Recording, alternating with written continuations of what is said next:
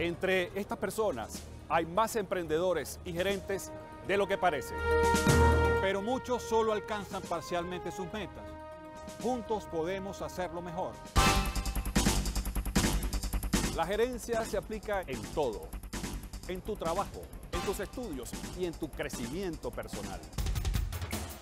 Por eso en Gerencia para Todos les daremos las herramientas de liderazgo eficaces y necesarias. Herramientas para ayudarlos a mejorar su capacidad gerencial y mejorar sus vidas. El liderazgo es para todos.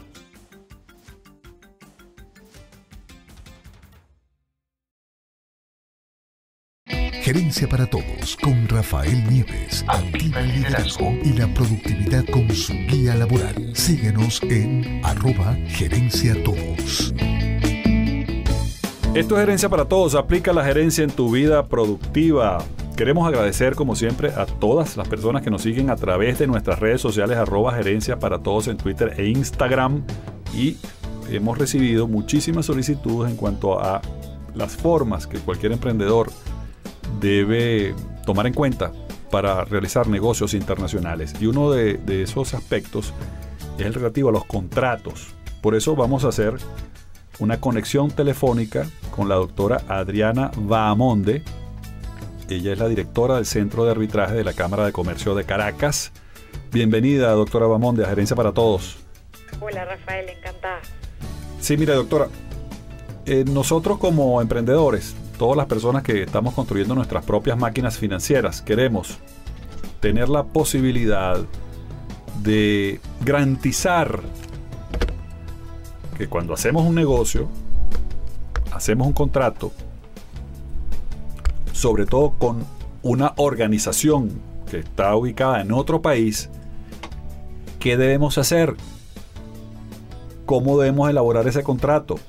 Y en caso de que exista alguna diferencia, alguna controversia sobre la realización de ese contrato, ¿cómo podríamos, como empresarios venezolanos, como emprendedores venezolanos, protegernos y actuar? ¿Y cómo puede actuar en un caso como este el centro de arbitraje de la Cámara de Comercio de Caracas? ¿Cómo puede ayudarnos? Mira, la razón por la que nosotros firmamos contratos o celebramos contratos es para poder tener las reglas claras dentro del negocio que estamos construyendo.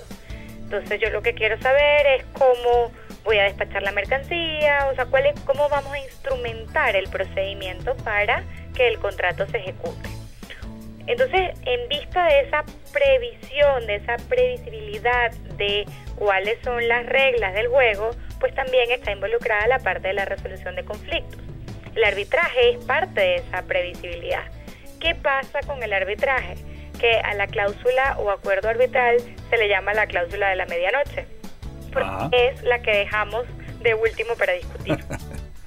Entonces, eh, ¿qué pasa? Si estamos tan pendientes de cuáles van a ser las reglas para contratar, de cómo voy a recibir el dinero, que normalmente es lo que más nos interesa, de cómo voy a recibir la mercancía cuando soy la otra parte, pues el cómo voy a resolver los conflictos el día que la luna de miel se acabe, también es parte de la previsibilidad de los contratos.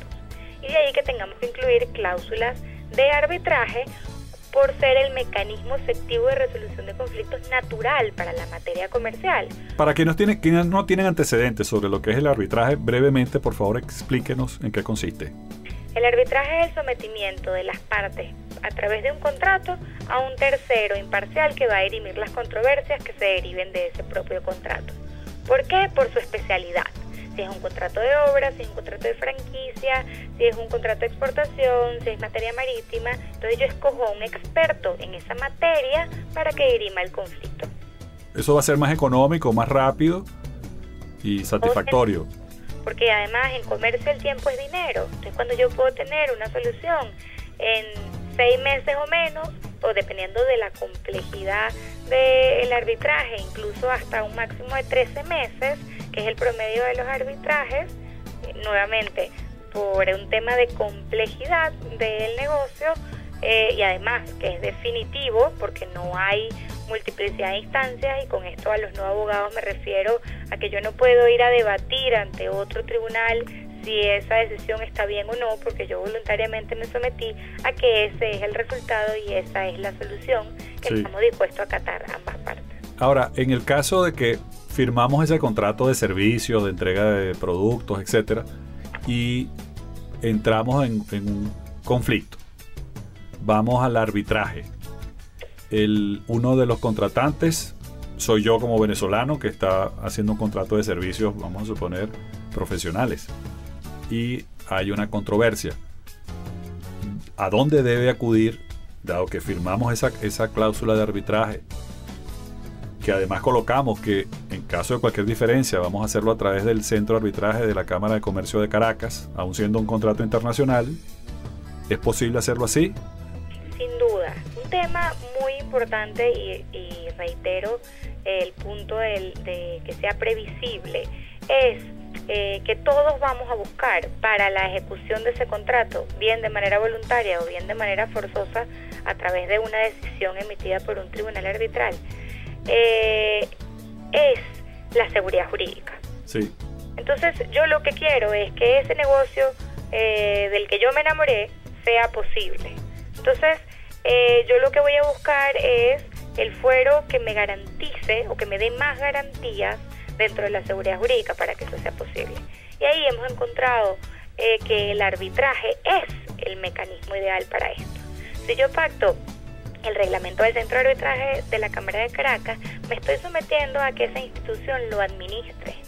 ¿Y este, qué herramientas prevé el centro de arbitraje? Pues un reglamento, nuevamente reglas claras de cómo va a ser el procedimiento, es decir, cómo voy a presentar mi demanda, cómo la, la va a contestar el demandado, cómo vamos a escoger a los árbitros y qué forma va a tener ese laudo, que es la decisión. Y esto se hace gracias también a las conexiones internacionales que tiene el Centro de Arbitraje de la Cámara de Caracas, ¿correcto? Sin duda. Es un tema de incluso colaboración internacional cuando tenemos multiplicidad de partes.